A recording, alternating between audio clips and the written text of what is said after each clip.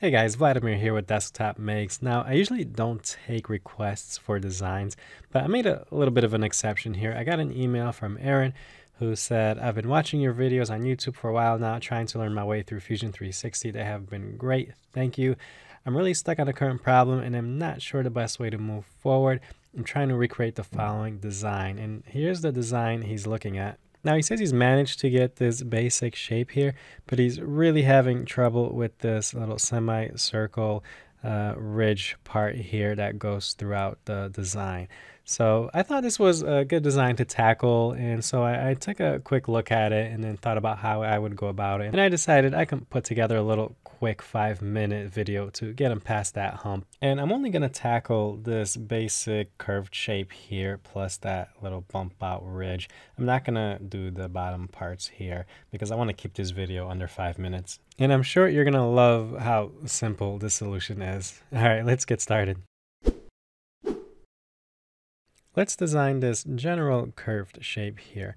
In Fusion, we're going to start with a sketch on our ZX plane, and we're going to grab a center diameter circle, draw a circle, stop sketch, and let's extrude this, but we'll do a symmetric extrusion. So for direction, we'll choose symmetric, bring this out a bit, and then click OK. And then we're going to grab another sketch, this time on a plane perpendicular to the one we just created, so that ZY plane. And we're going to draw a circle here. And let's uh, constrain that to that center point. So we'll grab that vertical constraint and constrain that midpoint.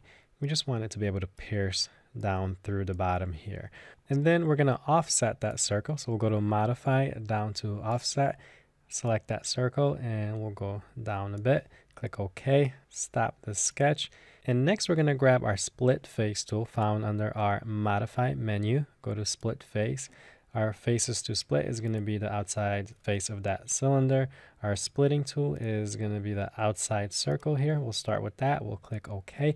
And as you can see, it split the face. Now, if you go to your bodies, you should only have one body. If you have two, that means you chose the wrong tool. You chose the split body tool instead of the split face. All right, we have this delineation between the outside and that inside surface.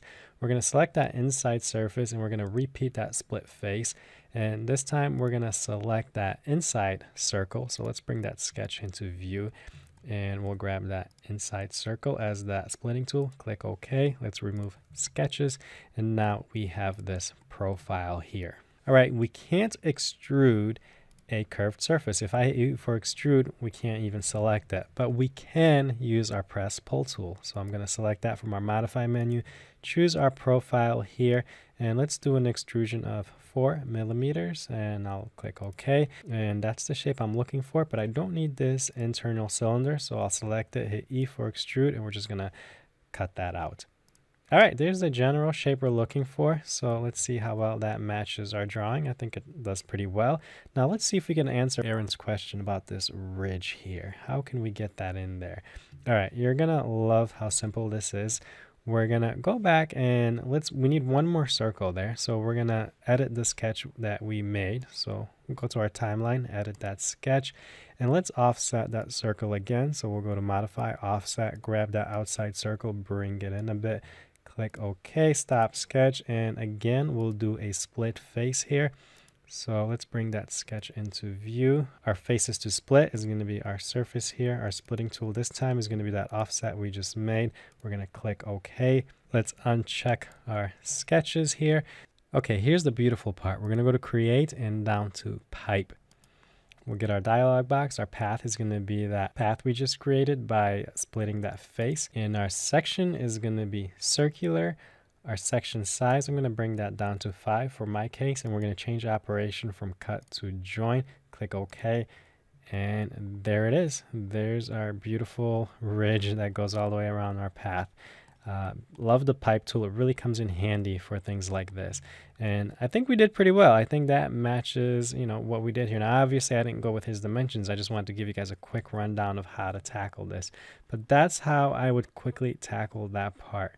All right, guys, let me know what you thought of my solution. Of course, there's always multiple ways to solve the same problem. So I'm curious to hear if you had a different approach. And if you did, leave it in the comments below so we can see. If you enjoyed this video, hit that like button and subscribe and come back next week for another one. All right, I'll see you guys next week and make sure to check out my website, desktopmakes.com for more content. All right, take care.